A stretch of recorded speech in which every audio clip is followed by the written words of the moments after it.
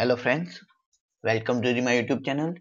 In this video, I will show you how to set up the Qt application or how to deploy the Qt application or how to copy the all the requirement dependencies file automatically in our Qt execution folder. So let's simply make first simple application. Let's add one push button control and now build the application wait for the build.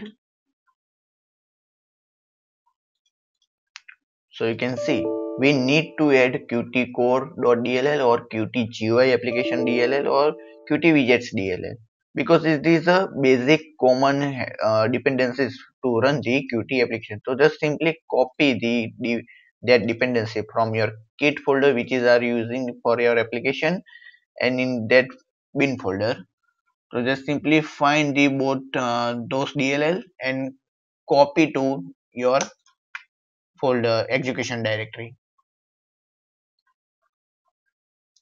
Now copy the widgets. Okay, add here. We also need to add the plugins directory, plugins of the our application. So simply copy that uh, plugins folder here you can see the platforms.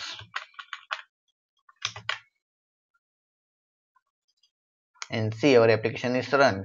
So this is the manual process we where we have to find the all just dependencies and copy the one by one in our execution folder. So now let's make this process automatically. So simply open your header file uh, profile and write the this code.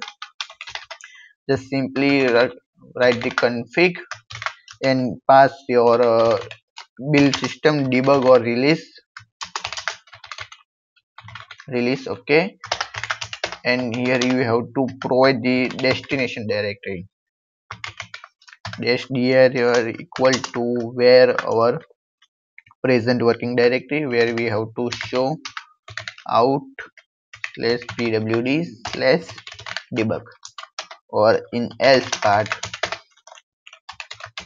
if we working with release. So just simply change debug to here.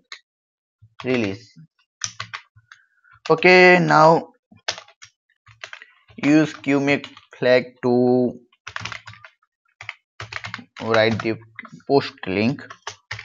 Here is showing the something error. This is a unexpected else. Okay just we have to write this format okay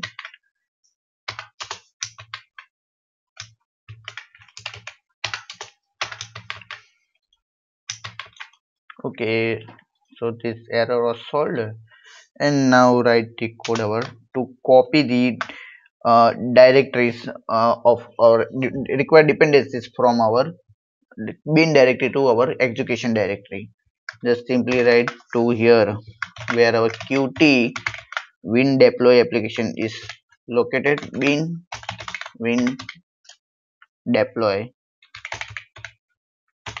Qt.exe you can see our application is located in bin directory win deploy qt.exe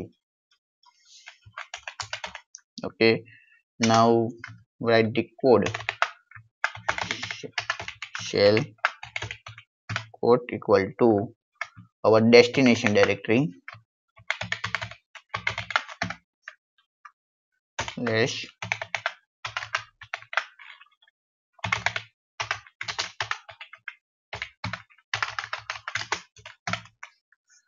write our targeted part.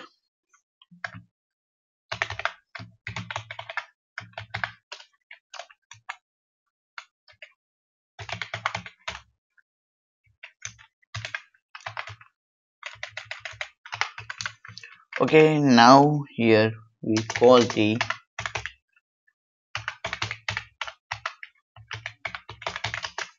no compiler dash runtime okay. So we just run the our win deploy qt application and copy the all the directories required directories in our destination directory which is defined here. Now let's run the application. First of all clean the project. Now just simply remove these files.